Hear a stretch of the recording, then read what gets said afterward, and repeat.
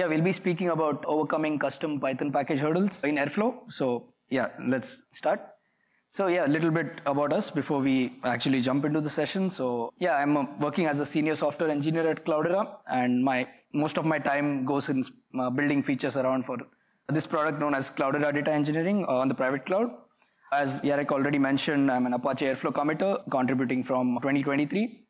So yeah, I start, I mainly focus on Breeze, Helm charts, CNCF Hive providers, and I'm starting to get into scheduler also these days a bit. So I'm also a coffee connoisseur, so you might have seen me at the table multiple times today. So that's that, and I love to play sports and uh, stay outdoor also in general. Hey everyone, my name is Shubham Raj, and I'm a software engineer too at Cloudera. I work with Cloudera data engineering team, we specifically on private cloud. I'm also a Airflow contributor. I have spoken last year at the Airflow Summit 2023. It was a great experience. And moreover, on the local summits. And I'm also a published author with book chapter in Scribbrum Publishing. And in free time, I love to play badminton and cricket. So yeah, let's get started. You guys would be wondering who are we, why, what we are going to solve. So yeah, we at Cloudera make data engineers' life easier. I know that's a bold statement, but we do that. So we do it with the help of Cloudera Data Engineering Platform, which is nothing but a data service on top of Cloudera data Cloudera stacks, uh, which allows user to submit Airflow and Spark jobs on auto-scaling Kubernetes cluster. And a part of that, we also provide uh, managed Airflow on Kubernetes using Kubernetes executors. And we also have uh, uh compute units uh, per team, so which we call as a virtual cluster. And as part of that, uh, there are multiple isolated Airflow instances for each team, and uh, we that share a single uh, metadata and a DB, and so each virtual cluster is used by per team. So the idea is here, here is that per team might have some DAG code which needs to be shared with the different team. So there comes the problem of custom Python packages where one team might be using something out of the Airflow environment. So now before heading towards the decks and all, so I will first show you the a demo where we are what I will solve, try to solve like uh, what we are going to solve or try to tell. And uh, let's see what problem comes when we are using uh, Python, custom Python packages. So on the screen, what you see is a DAG file. So more importantly, before going to the DAG file, I will tell you like what this DAG is. Nowadays, all of you might be following the stock markets, very volatile today. So this, it's very tedious to be on the screen and see whether the stock price has hit a particular target or not. So this DAG uh, does that simple that it will just follow up seeing the stock prices and it will just keep you the email alert whether that has been uh, triggered. And on the line number six on this particular DAG file, it's to notice that we have a Yagmail uh, Python package, which is uh, available on the public pip repo, but not on the Airflow environment, what we have. So uh, you can see uh, the DAG here, we have two particular Python operators which is fetch stock prices and stock alert. We also have the, the DAG goes like first it calls the fetch stock price task, then post that it will call the send stock alert task. So what it does, the fetch stock price, what is basically does it takes the stock symbol, what you are interested in, and it, it makes a API call with that particular symbol and API key. And what it does it, it gets the price particular time, and then it pushes it to the XCOM, Post that when the send stock alert has been triggered, what it will do is it will check whether the particular stock has been triggered, whatever the price has been set, whether it price has been triggered or the threshold has been crossed. And notice here is on line number 56, we are using the Yagmail, Yagmail, which is SMTP protocol. It's a wrapper over it, and it takes the email ID and the password from which you need to send the mail, and it sends all to the all the destination mail IDs, whatever you have fit and when it's successful, the, you will get the email sent successful, otherwise you will get error sending mail. So this is all about like the DAG file, what we are going to run. So let's try to run this file. I will be using Cloudera Data Engineering platform to run this. And on the screen, what you see is that the data data engineering homepage. So let's see. We'll go to the resources here, and there is a stock DAG. This is the DAG file what we have just shown to you. So we have uh, uploaded that and now we will try to create a job, specifically Airflow job. Let's call it as a stock DAG and we will select the resource which is stockdag.py and then we will run. Let's see what happens.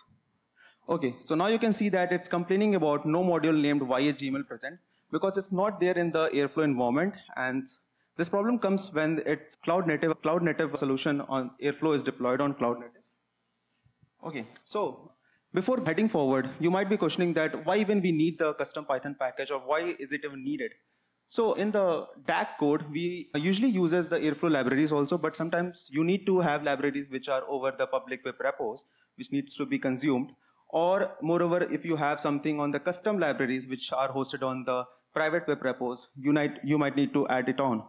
Or suppose you have a third-party Airflow operators which you need to run. So this all things will not work if uh, you are using a cloud native approach. And the problem here will come is that it is not available in the Airflow environment. And there is no direct way to do this in Airflow when deployed in cloud native fashion. But yeah, of course, Airflow have some techniques which we can see, which is now particularly what Airflow offers as per now. The first approach is either you can just, you, we all know that we are familiar with the Python path. It have the path where all the DAGs and plugins folder are there. Either you can just upload your custom packages here or the next approach is either you can just, if you have the part to the, your particular custom tag, custom packages, you can just uh, append the environment variable Python path and just add it there. The third approach is package your code in a Python package. That is like if you do not want to extend or you don't want to play with the environment variable, you can just package it and just pip install it and you are ready to use in your DAG import and you can use that. So now, I mean, if everything is here what we are solving. So, so there are some challenges on this particular, all the approaches. The challenges are here is that the first, when we talk about the Python path, whatever the folders are there, they are not, uh, they don't reflect at the runtime and pods are ephemeral, so they can be destroyed or they can have breakages or they can be restarted. So when it comes to restart it or destroying the, it will go to the default stage and whatever changes you have made to the Python path environment variable, which is the second option, you're changing, you're appending the Python path, or just putting whatever in the DAGs folder, it, you will all get lost. That will all get lost, and again, you will face the same problem of not getting no module found. The third is like baking in the Airflow Docker file, recompiling for every change. I mean, this can be done, but it's very tedious to do every time when you are um, having multiple Python packages. So rolling out updates and repeating this might be a tedious task. So yeah. Yeah, so moving ahead, uh, yeah, Shubham did mention a couple of uh, challenges here. So yeah, obviously we need something that can kind of address these problems. So, uh, so we came up with something known as a custom global Python environment. So when I say global here, I mean it is per compute unit. In our case, it's called a virtual cluster, or more generally speaking, it's per deployment of Airflow. So this particular solution is offered using a microservice that automates a solution to all these earlier challenges. So essentially the goal of the microservice is quite simple. Whatever we did with the, the last stage of the last slide, which was which was basically baking in the Docker file and uh, recompiling all this, this part is kind of automated into a microservice. So it basically builds a global environment for you and this will happen post the installation of Airflow. So this microservice basically works in uh, three steps. Uh, the first step is where you define the Python environment that you want to create. Uh, then moving on to building the environment and storing it somewhere. So we end up storing it in file share. And the third step is to actually activate the environment or in simple terms, enabling Airflow to use the newly activated environment.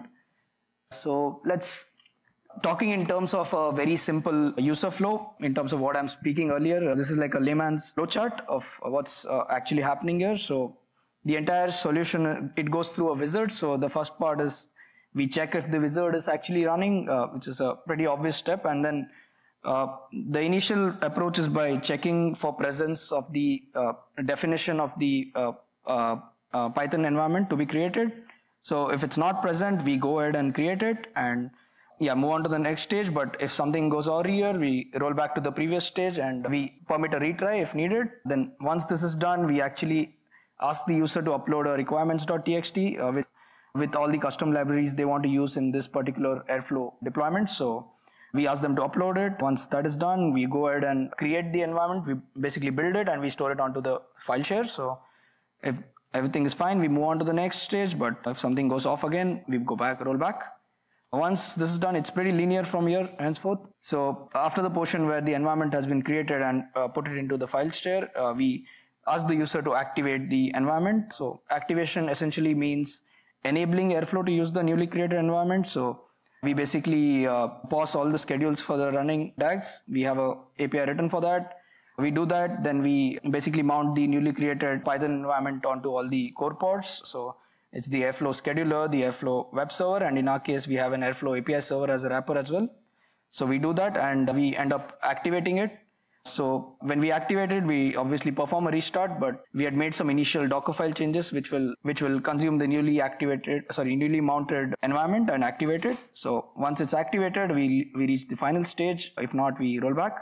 So once we reach the final stage, resume all the schedules for all the existing DAGs, and Airflow is it's as good to be used as uh, usual.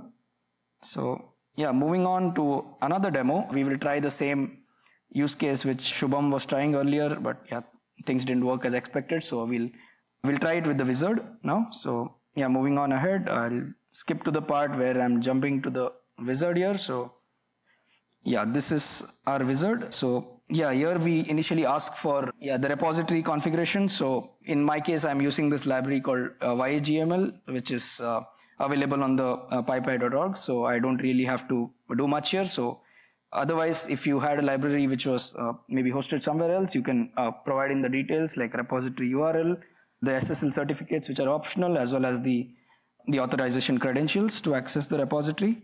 Since I'm good here, I'm just going to click on validate.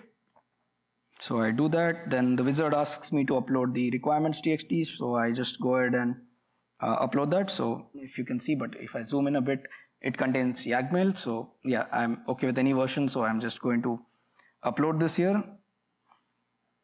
So if I map this, map this to the uh, flowchart from earlier, this is basically this is basically the part where you're uploading your requirement txt and initiating the build. So it takes a couple of minutes. So I'm just I've just fast forwarded that part. So yeah, at the end of that step, we basically have a Python environment which has been pushed to a file share and we will mount it when we activate it. So the last stage is when I click on activate.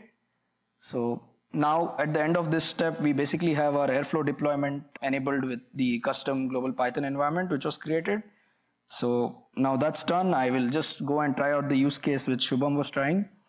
But uh, yeah, before we do that, I'll jump onto the Airflow UI real quick and just kind of show you the variables that I've set. So my DAG is consuming four variables. So yeah, I, I did collect a couple of email IDs from you guys just before the just before the session, but yeah, live demo doesn't usually work out. So this is a semi-live demo. So I fed it into destination email IDs. So that part is done. So I'll just go ahead and kind of try out the same use case what Shubham was trying. So we'll define a job called stock DAG yeah, let's select back the same DAG file which he had uploaded earlier. So let's say create and run. Since it had a schedule of none, uh, it's not going to launch, so I'm just going to do run now. So now that I do that, uh, we have a DAG run here. So yeah, you can see that uh, the DAG has been triggered and we can actually jump on real quick to the Airflow UI and uh, see what's happening. So we can see that there is uh, one DAG run here. Uh, it's not filled in the uh, initial parsing stage. So yeah, jumping on ahead here, yeah, we have one DAG run which is yeah I triggered it manually, so it's manual one and it's already started running. So yeah, coming back to the logs also, the first stage which was fetching the stock price for Apple was yeah that's successful. So the first stage went through. Let's jump back to the Airflow UI again, and we will uh, we'll see what's happening with the DAG. So we can see that the second stage, which is second task, which is send stock alert has been, it's queued right now. So let's just click on this and we can go to the graph view. Yeah, in the graph view, yeah, it's still in queued. The first one has completed. So yeah, this is the first one.